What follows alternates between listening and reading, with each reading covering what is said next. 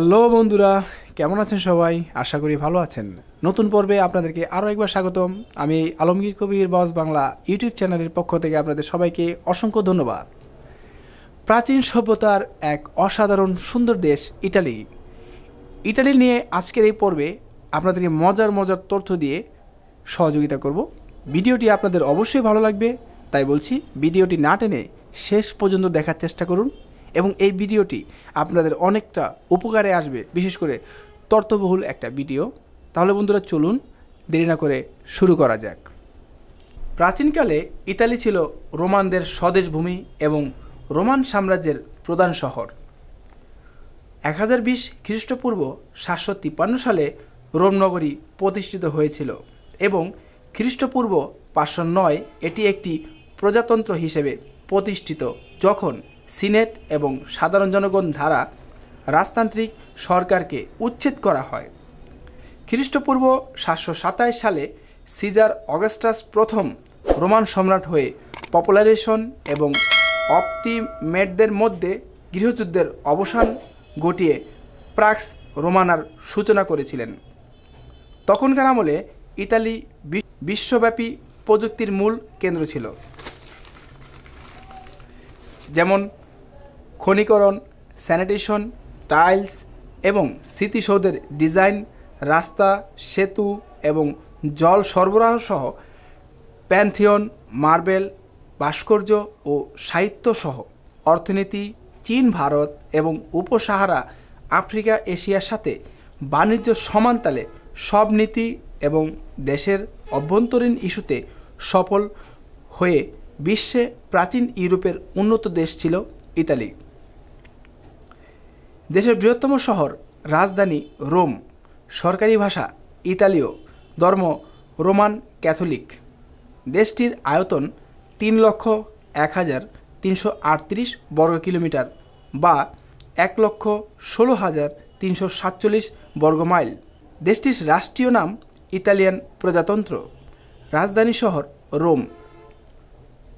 দেশটির বাৎসরিক জিডিপি মাথাপিছু আয় তেত্রিশ হাজার ইউএস ডলার।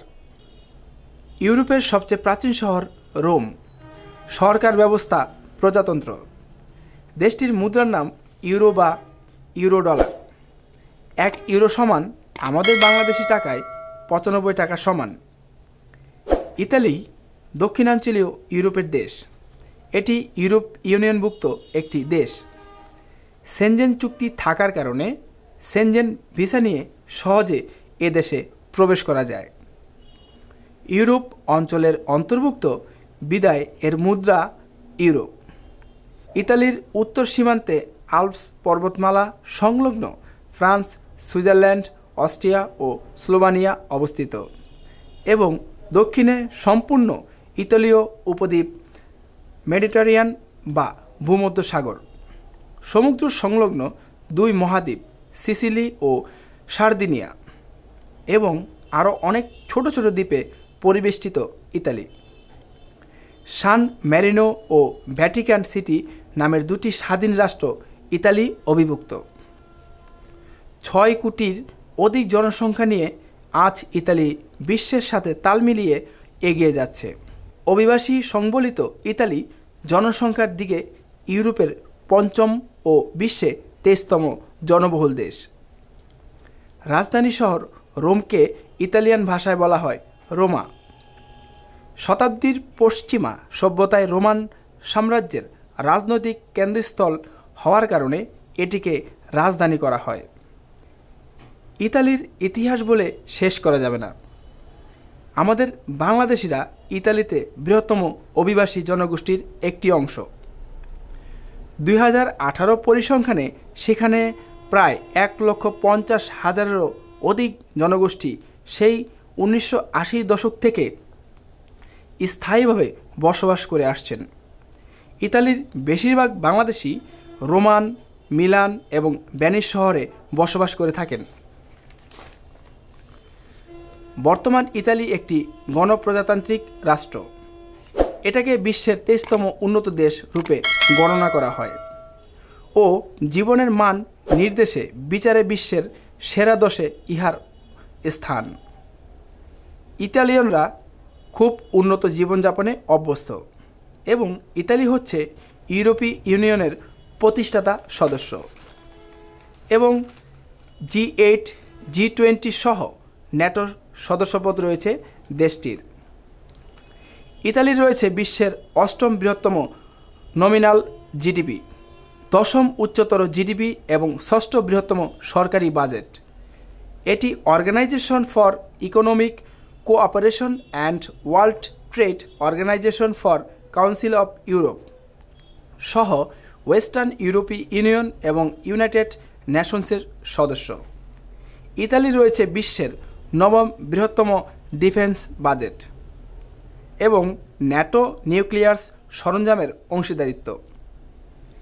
ইতালি, ইউরোপীয় ও পৃথিবীব্যাপী সামরিক, সাংস্কৃতিক এবং কূটনৈতিক সম্পর্কে বিশাল ভূমিকা পালন করে থাকে। ইউরোপীয় রাজনৈতিক, সামাজিক এবং অর্থনৈতিক প্রভাব দেশটিকে দিয়েছে আঞ্চলিক শক্তি। দেশটি রয়েছে সরকারি উচ্চশিক্ষা কাঠামো ও উচ্চ বিশ্বায়িত জাতি। আর তাই গড়ে প্রতি বছর দক্ষিণ এশিয়া সহ বিশ্বের বহু দেশ থেকে বৈধ ও অবৈধ উপায়ে দেশটিতে নাগরিকত্ব লাভের আশায় দেশটিতে পাড়ি দিয়ে থাকেন। সহজে সিটিজেনশিপ, উন্নত জীবনধারণ নিরাপদ বসবাস সহ রয়েছে সরকারি নানান সুযোগ সুবিধা, যা বিশ্বের গরিব দেশ থেকে উঠে আসা মানুষের জন্য স্বপ্নের দেশ, নিরাপদ আশ্রয়। ইতালিকে বলা হয় ঈশ্বরের দেশ, আর তাই কোনো মানুষ দেশটিতে যে কোনোভাবে প্রবেশ করতে পারলেই সে কোনো না কোনো দিন দেশটিতে স্থায়ীভাবে বসবাসের অনুমতি পেয়ে যাবেন। আর ঠিক সেই আশায় লিবিয়া, মিশর ও গ্রিস উপকূল দিয়ে নৌকা করে জীবনের ঝুঁকি নিয়ে প্রতিদিন হাজার হাজার মানুষ দেশটিতে প্রবেশ করার চেষ্টা করে থাকেন। বন্ধুরা, ইউরোপের একমাত্র দেশ ইতালি, যা বিশ্বের বিভিন্ন দেশ, জাতি ও মানুষের কাছে অভিবাসন নীতির সহজ, নিরাপদ স্থান হিসেবে বিবেচিত হয়। আর তাই ইতালিকে বিশ্বের সবচেয়ে বড় বিন দেশ থেকে আসা মানুষের আশ্রয়ের দেশ বলা হয়ে থাকে।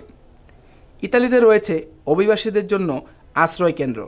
করিডর, নিরাপদ বাসস্থান, চিকিৎসা, খাদ্যসহ ক্যাম্প, যেখানে মাসিক বেতনসহ প্রতিটি মানুষের ইচ্ছে মতো বিভিন্ন কাজ শেখার সুন্দর পরিবেশ যা একজন সাধারণ মানুষের জীবনে খুবই আনন্দের বিষয়। ইতালিতে বর্তমানে দশ লাখের অধিক মানুষ আশ্রয় কেন্দ্রে রয়েছে, যা ইতালি সরকারের জন্য বোঝা হলেও তারা ঈশ্বরের দেশ বলে পোপের আদেশে তা সহজে মেনে নিয়ে পাল্লা দিয়ে এগিয়ে যাচ্ছে। শুধু কি তাই? ইতালির এই প্রাচীনতম শহর পুরো ইউরোপ জুড়ে আর দ্বিতীয়টি নেই, যেটিকে দেখতে প্রতিদিন লাখো বিদেশি পর্যটক ইতালির রোম, ভ্যানিস, মিলান সহ অন্যান্য যে সিটিগুলো রয়েছে, সেগুলো ঘুরে দেখার ট্যুরিস্টদের ভিড় প্রতিদিনই বেড়েই চলেছে।